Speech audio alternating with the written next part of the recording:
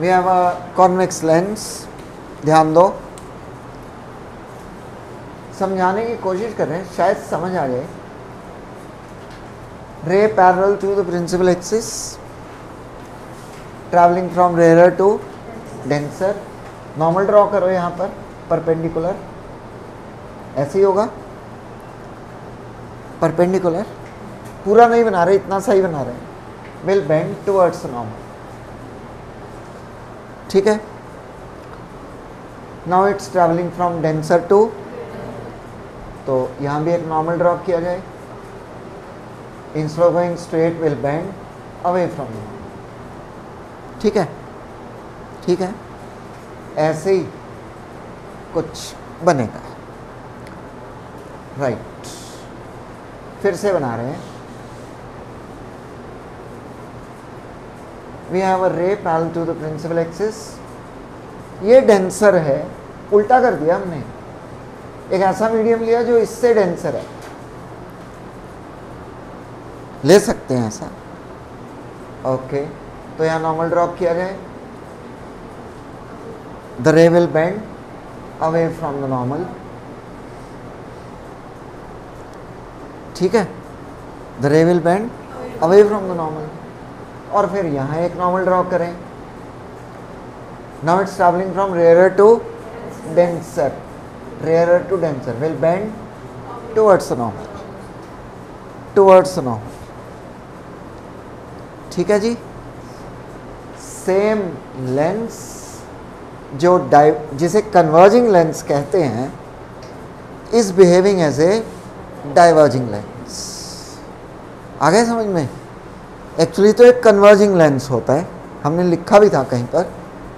But if you place it in a medium which is denser then the lens itself then it will start behaving as a diverging lens ऐसे ही, अगर diverging lens को इससे denser medium में place कर दें तो it will start behaving as converging lens आ गया समझ में?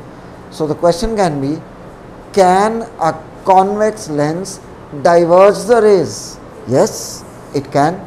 Can it behave as a diverging lens? Yes. When it is placed in a medium denser than the lens itself.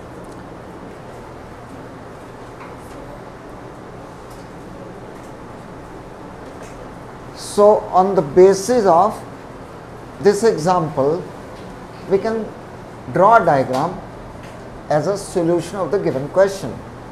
Lens concave हो सकता है, कॉन्वेक्स हो सकता है, हम दोनों के लिए कर रहे हैं।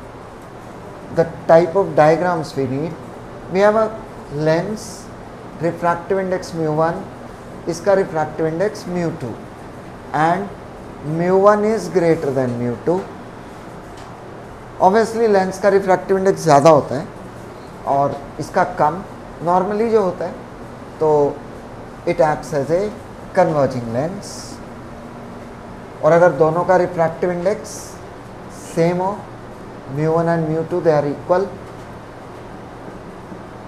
तो रेस सीधी चली जाएँगी no bending refractive index same है, कह सकते हैं similar medium same medium no deviation in the path और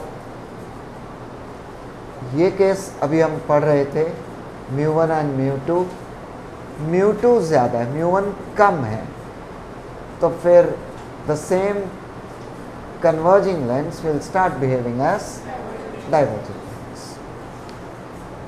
Teachers confuse करने की कोशिश करते हैं म्यू वन म्यू टू क्या है, ये ध्यान रखना। हम यहाँ पढ़ रहे हैं, ये म्यू वन है, ये म्यू टू है। एग्ज़ाम में ये म्यू वन और ये म्यू टू आ गया। हमारे ध्यान में यही आंसर्स डायग्राम्स थे। एज इट इज़ ड्रॉ कराए, वो सारे गलत हो गए। तो be very careful mu one कौन सा है और म्यू टू कौन सा है। फिर से for a concave lens refractive index lens का म्यू वन और मीडियम का सेम बिल्कुल mu two mu one is greater than mu two ये डाइवर्जिंग की तरह ही बिहेव करेगा। और अगर दोनों का रिफ्रैक्टिव इंडेक्स सेम है तो रेस सीधी चली जाएँगी। और अगर उल्टा कर दें, इसे, इससे भी डेंसर मीडियम में प्लेस कर दें,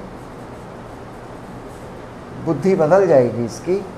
ये कन्वर्जिंग की डाइवर्जिंग की जगह कन्वर्जिंग हो जाएगा क्लियर है जी